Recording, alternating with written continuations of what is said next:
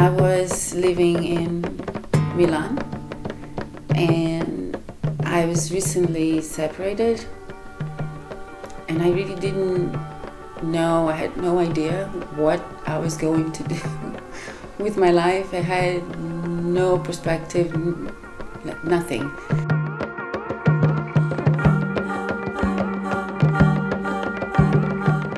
I started to paint the iconic women because I was feeling so lost. I needed inspiration. Then came uh, Maya Angelou, and it had a lot to do with my story as well about um, being abused as a child. Ela me viola com um segredo. Quando chega a noite, ela me mata. Eu não vestido The Anonymous Women. Uh, it's a little bit of a challenge because I find the references on uh, image banks, but I don't know their stories, so I have to come up with something in my head.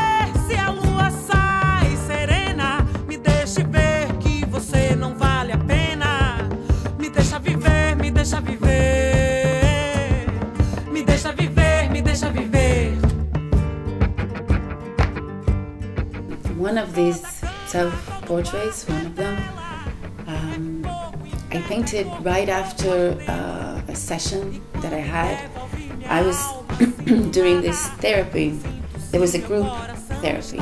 The proposition was to have uh, victims of sexual abuse in the childhood, so pedophilia uh, victims, and pedophiles there.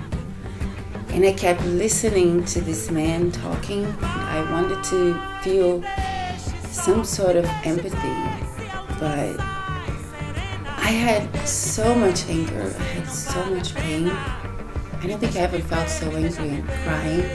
And in the end, when it was done, I started painting and, and I just kept on, I don't know how many hours, and it was so cathartic to just put all the pain, all the crying, all the anger, just put it in the painting.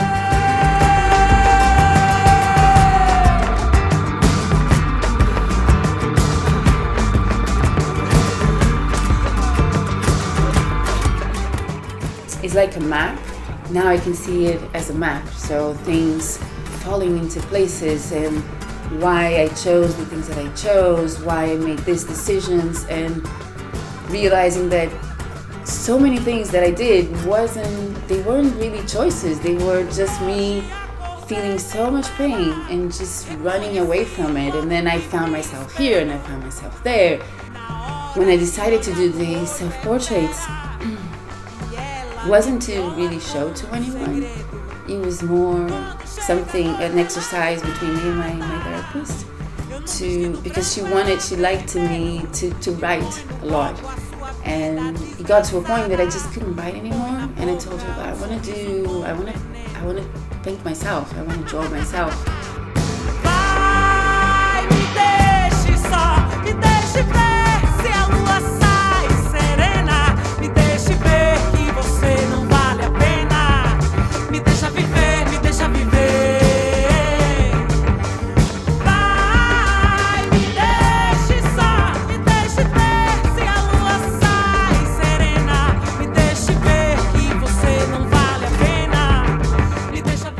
All of these months, I talked to so many other victims. I heard their stories and they helped me.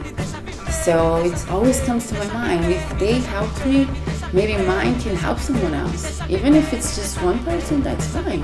And even if it just helps myself, it's also good because, you know, it's less crazy person around. So that's good.